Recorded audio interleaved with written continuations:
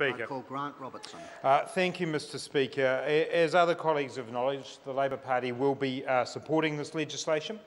As colleagues in the House know, uh, we attempted to put before the House a bill that would have allowed Red Peak to be added to the referendum, along with our clear and consistent position that that should be preceded by a yes-no uh, vote. We have said from the outset that as the public mood uh, rose up in support of additional options, that we wanted to support more choice. And I, for one, am pleased that New Zealanders will have more choice, and that is why we are voting for this legislation. But I want to reflect on what this process could have been, Mr Speaker. The opportunity to discuss New Zealand's identity, our sense of place in the 21st century, what kind of constitutional arrangements underpin a country like New Zealand growing and going forward into the 21st century. That is a conversation New Zealand needs, and I believe it is a conversation New Zealanders want to have. The government dipped its toe in the water of that conversation with the Constitutional Review Panel, also chaired by John Burrows, who chaired the Flag Consideration Panel. Uh, Professor Burrows is a learned and good person.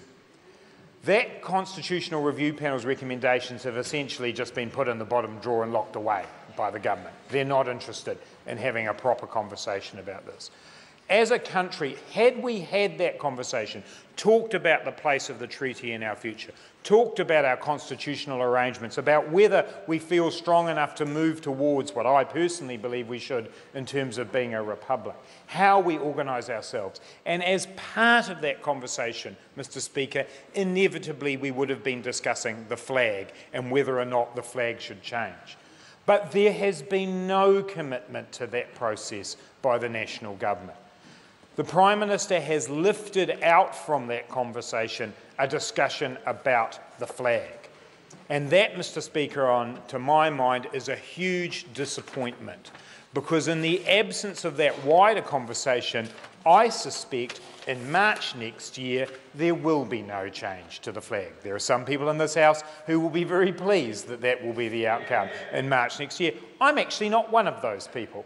I'm actually a person who thinks we probably could change the flag and probably should change the flag, but it needed to be part of that wider process. And in the absence of that, what we are left with is an attempt by the Prime Minister to create for himself a legacy.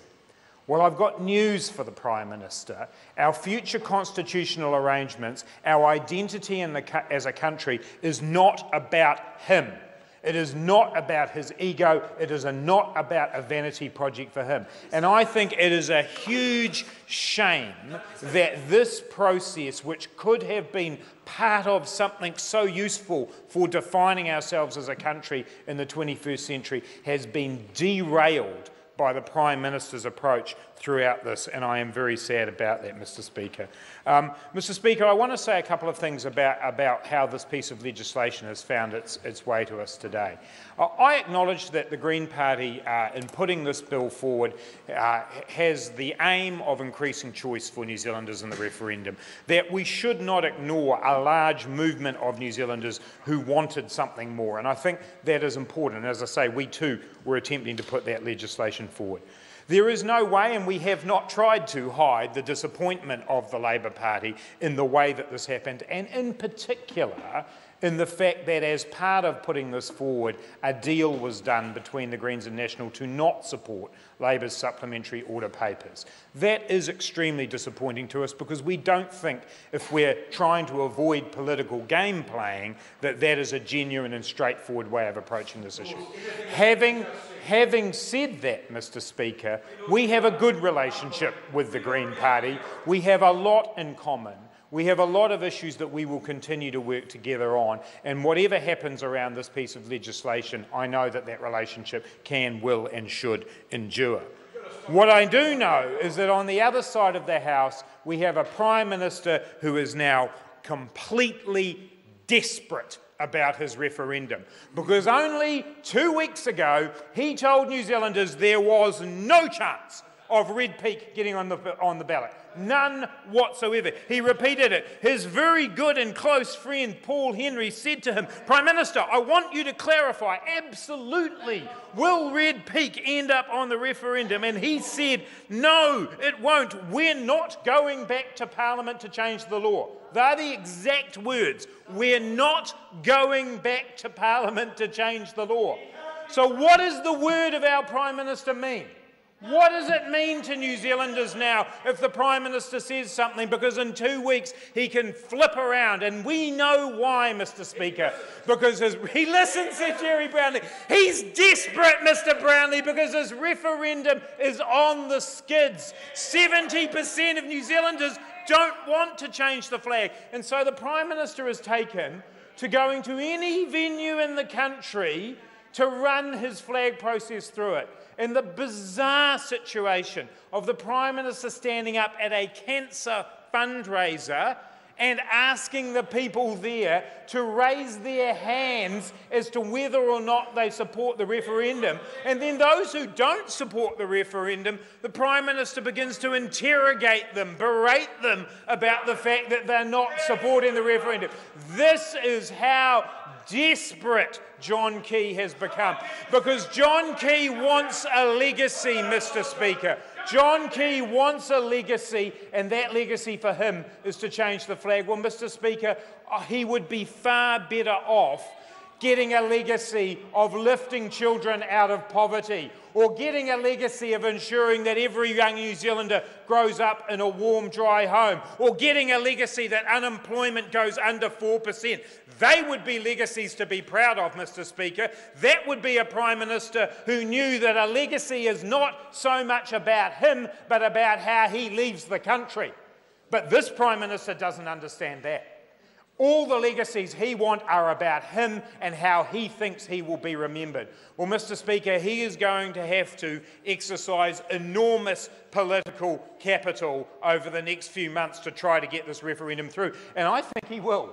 I think he will spend millions of dollars, probably, of taxpayer money going up and down the country over the next few months, desperately trying to get himself his referendum passed. And that's the irony, Mr. Speaker, is Red Peak, the very thing he said he didn't want, the very thing he said wouldn't be on the ballot, is the thing he now is clutching onto as his saviour.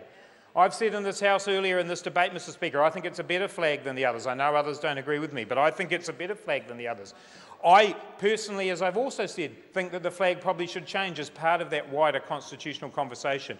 But every member of this House knows that when they go out back to their constituencies, when they go to public meetings, that that TV3 poll that says that 70% of New Zealanders don't want the flag to change is accurate. Every member of this House knows that when they go back to their constituencies. Gerry Brownlee doesn't. The good people of Ilam are apparently completely out of that, completely outside of that. It could actually be possible. Who knows what happens in an electorate that elects Gerry Brownlee time after time? They could be, they could be saying, they could be saying anything at all, Mr. Speaker. But, Mr. Speaker, that is the truth. That this government, and in particular this Prime Minister, have destroyed an opportunity for New Zealand to have the conversation we need to have about our future identity because of vanity, because of ego. And now, in his desperation, he accepts that there needs to be another option.